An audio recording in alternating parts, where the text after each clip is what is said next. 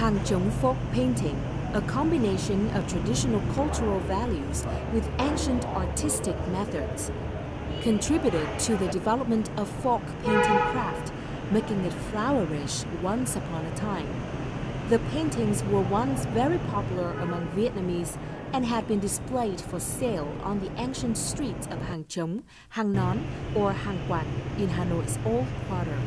Hang Trong painting had held a place deeply in the soul of Hanoian and remained its unchangeable feature despite of the upheavals of history.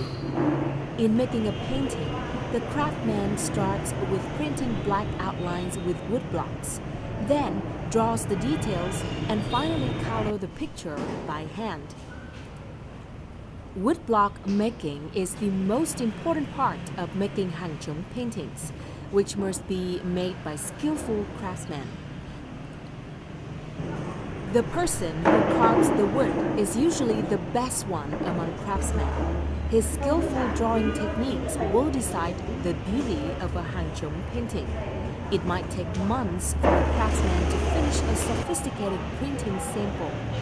Hang Trong folk painting feature various themes that are associated with Vietnamese daily life. The paintings have vivid colors that reflect the beauty and rich culture of the community that they originated.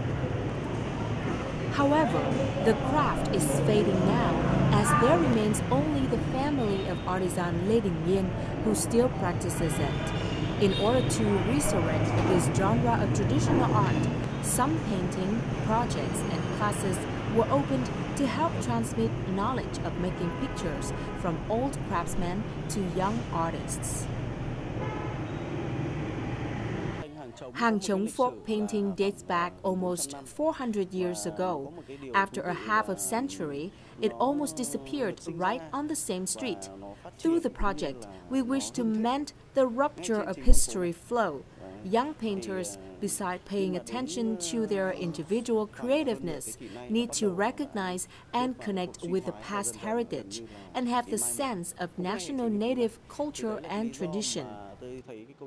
When approaching Hang Trong folk paintings, young artists and art students not only respect the cultural, artistic, and historical values, but insert some creative features into the paintings.